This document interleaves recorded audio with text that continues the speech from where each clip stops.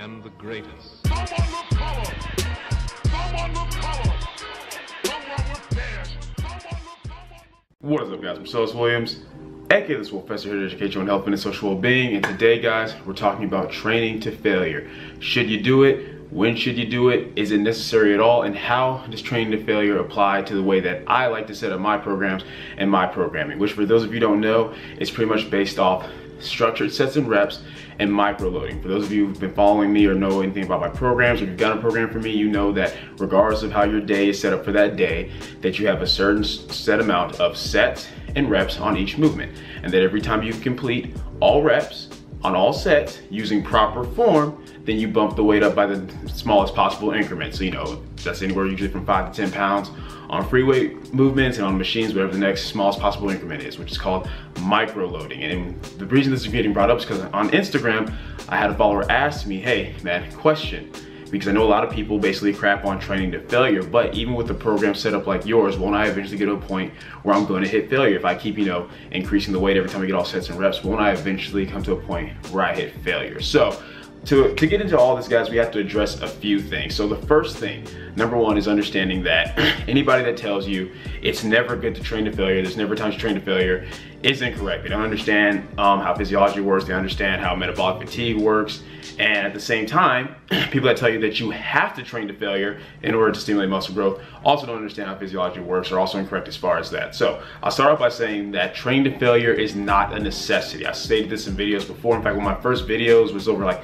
five most common fitness misconceptions, and one of them is that you have to train to failure in order to um, get stronger, increase muscle mass. As you guys already know by now, the key to increasing muscle mass and getting stronger is progressive overload. Just doing a little bit more than what you did last time in some area of the volume, whether that's your sets, your reps, the weight, even something like decreasing the rest time. That is progressive overload. That is the number one defining key of getting stronger or building muscle mass. And you can do that without necessarily training to failure. You don't have to ever train to failure in order to achieve that in order to accomplish that. With that being said, that's not to say that training failure can't sometimes be an adequate tool, but we have to first look at how different people define failure. So a lot of people define failure simply as you can no longer get any more reps with that weight, right? Like, like no matter what you do, no matter what you try, even if you break form or try to like, you know, if you're on a bench press and you're lifting your butt up, you can't get it. Some people define that as failure. That's true failure. Other people say whenever you get to the point where you can't do any more quality reps with proper form, that that's failure. That's one of the ways that I define failure. Meaning if you get another rep or a couple more reps but your form breaks, I count that as failure. A lot of people, especially more in the powerlifting world, of like coaches who are working on strength, power, explosiveness, even if you maintain form, but you start grinding, meaning like your bar speed slows down, so like on a squat or a deadlift or bench, like you're going slower than the tempo they want, they will count that as failure. So understand that these are all different ways that we define failure, right? So for our sakes and purposes, when we're talking about the way that I program things specifically, failure is when you are at the point where you can no longer complete the reps with quality form, which means if you get two, three more reps out, but your form breaks, that is failure. Why? Because the way that I have my structure progressive overload set up is that you complete all reps on all sets using proper form. Now, as far as, um, you know, well, you should never train to failure. This isn't true, guys. The reality is if you're training with anything over five reps, so six reps or more, training to failure isn't that detrimental in the sense that you you're, you're, working metabolic fatigue. If you're if the weight is light enough to where you're hitting anything really from like six to 15 reps, that's rel that's relatively lightweight, which means that you're not so much having to worry about how much it's going to tax your central nervous system, so much as it's going to tax metabolic fatigue. Because those of you who've been with me for a while understand that the, that the two ways you can progressively overload is through mechanical tension or metabolic fatigue. And that's what you have to understand, guys, that coming in and just train to failure, like just say I'm just gonna do as many reps for as many as you can randomly with no structure or organization, that's not smart. That is a way to um, burn yourself out, whether it's due to mechanical tension or metabolic fatigue, that is a way to eventually reach a point where you can't recover. Because you have to remember, no matter what you're doing, guys, you always have to keep in mind how much work can I recover from? Because doing all the work in the world doesn't matter if you can't recover from it. You're not gonna grow the way that you want to. So, with that being said, understand that even when you're, even when you are quote unquote working to failure, you still have to have structured progressive overload. For example, um, let's say it's my volume day on Friday, right? And I've got tricep overhead extensions for three sets of 15 even let's say I, I hit 15 reps, right? And then I hit 12 reps and then I hit 10 reps. I didn't get all three sets of 15, right? So I failed, right? Because that's all I could get. That's okay. That's beneficial for the mere fact that I still had a certain structure set of reps that I was trying to get. And even though I didn't hit that, I'm way beyond, you know, the five rep limit. So all I did was induce metabolic fatigue because once again, the two ways you get stronger are the mechanical tension or metabolic fatigue. Mechanical tension is simply adding weight to the bar. Metabolic fatigue is where you're just doing so much work to where different um, muscle fibers and other thresholds, you know, fast twitch, slow twitch, all have to try to kick in to help you get through the work. And both of these are ways that you can produce muscle growth. But regardless, you have to use progressive overload on both of them. Meaning, even if let's say you're just doing body weight, you're just doing push-ups, you, you don't have a certain amount of reps you're trying to hit. You just do three sets of as many reps as you can get. Regardless of what you get on your total reps, the next time you come in and do that, like you're going to have to still progressively overload. So let's say you do three sets as many as you can, you get like 50, 20, 15.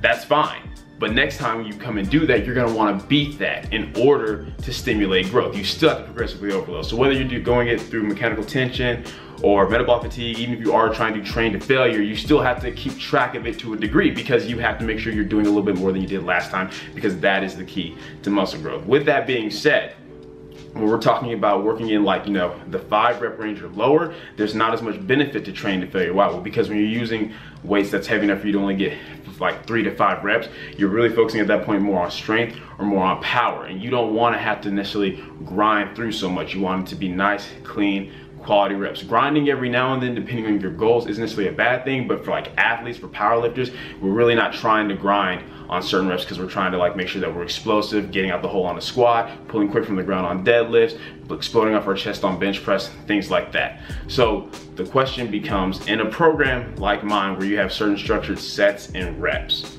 how does working to failure like work into that? Do you ever have to hit failure? And the reality is, guys, is technically you don't. And here's why you don't have to let's say it's a day where you're doing um, like sets of five on a movement, right? And you and you uh, you get three sets of five, right? And you get it really clean, really easy, no problem, and you bump the weight up next time. You get three sets of five once again. You do it again, you bump the weight up next time. But on this time around, you notice that on your last set, the weight, the, like you got all five reps, but the weight didn't move quite as fast as you want. It wasn't a grind, but it wasn't quite as fast as you want. The point being, you realize, you now think that, okay, if I increase this weight, I'm probably not gonna get all three sets of five. I can probably still get five like on the first set or so, but I may not get all three sets of five. And I don't wanna, I don't wanna hit failure. Well, the way you avoid that is simple, guys.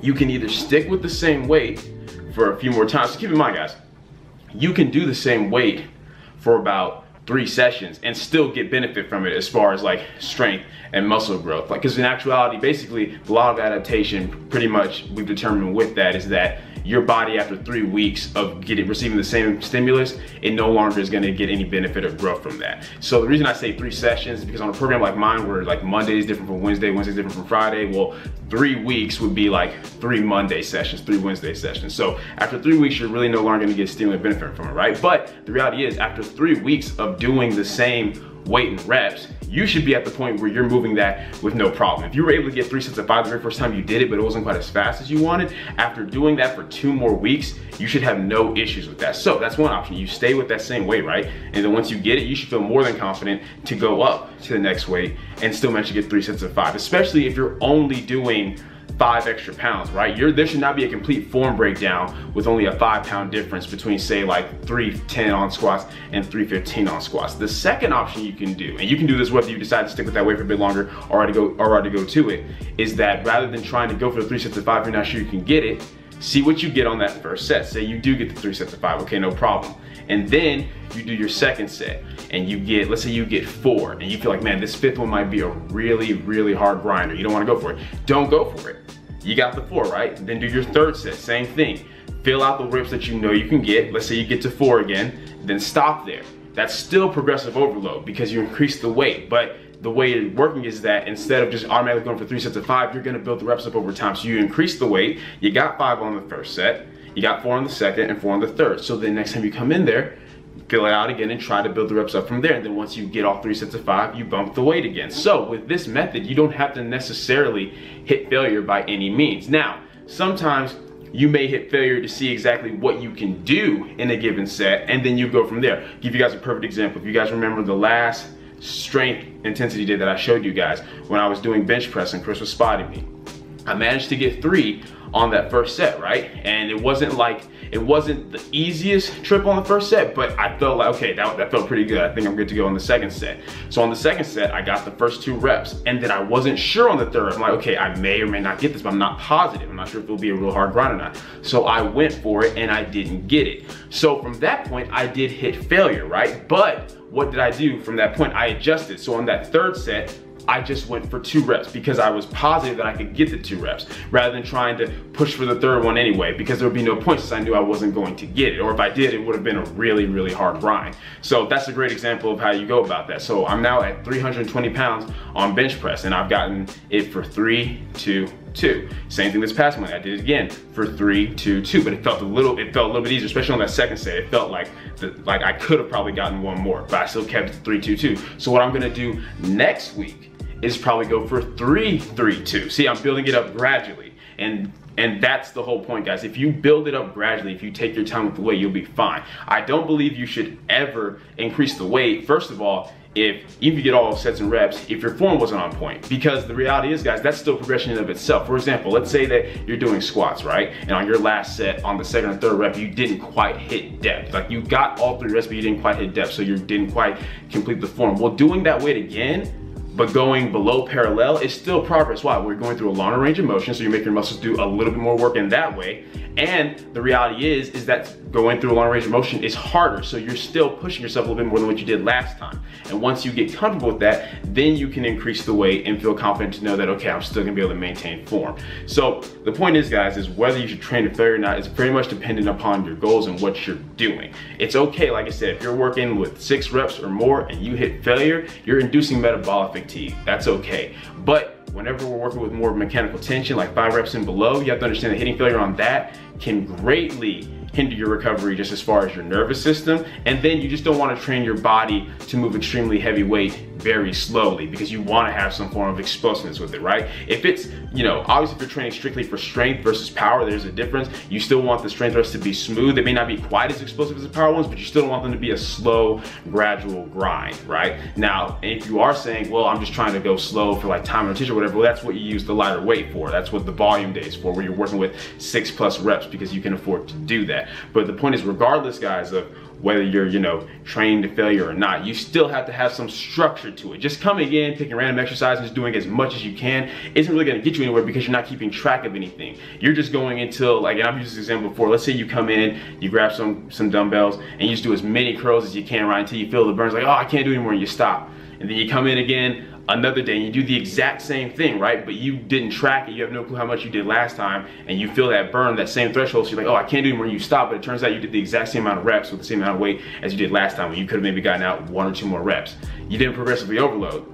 So even though, yes, you can probably do that same weight and reps for, you know, three more sessions or three more weeks and get benefit, you're gonna eventually get to the point where you're not getting any stronger because of the law of adaptation, where you're getting too used to the stimulus. Like I said, a lot of people take the law of adaptation, meaning that they have to constantly switch exercises all the time. That's not necessarily the case, guys. A lot of adaptation just means you can't give your body the same stimulus over and over, which means that you can break through that law simply by increasing the weight, doing an extra rep, doing an extra set. There's lots of different ways to, you know, work around the law of adaptation.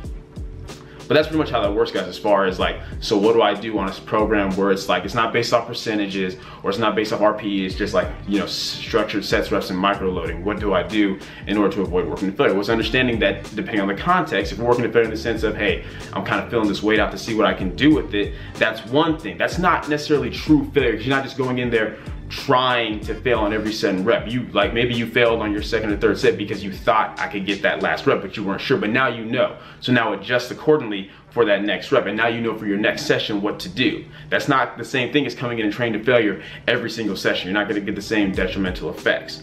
And in the same way, guys, it's understanding that if you do hit failure, like I said, in the higher rep threshold, that's okay. If your goal was three sets of 15, you got 15, 12, 10, that's okay. Just keep gradually building the reps up. And once again, once you get all three sets of 15, bump the weight, start over again. Because failing due to metabolic fatigue isn't as detrimental as failing when it comes to um, mechanical tension. But once again, you don't ever have to train to failure, guys. In the sense of if you, if let's say even with the higher thresholds, you get 15 and then you on that second set you, you like you get the 10th one you're like hmm i could maybe squeeze out another one or two but i think it's to be hard so then you don't do it so you just stop at 10 then the third set you do another set of 10 that's okay same thing you can just build the reps up gradually until you did get all three sets of 15 it's just understanding that whether you um, got 15, 10, 10 because you couldn't do any more than 15, 10, 10, or whether you got 15, 10, 10 because you decided you didn't want to go to failure and you just want to build the reps up gradually, either way is going to be fine in that instance. The times that you really want to avoid train to failure is like I said, when you're in that five rep range